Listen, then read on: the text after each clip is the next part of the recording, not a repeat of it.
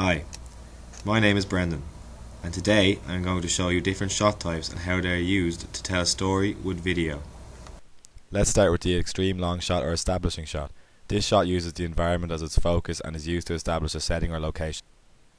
A long shot shows the talent within their surroundings. This shot is not focused indirectly on the talent but shows the talent interacting with their environment.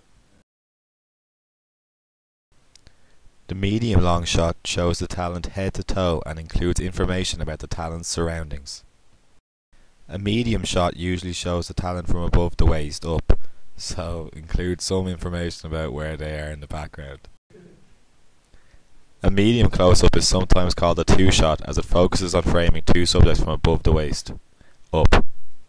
A close-up usually focuses on the talent from above the chest up. This shot is mainly used to show emotion. An extreme close-up focused on a minute detail such as a person's eye or a specific feature.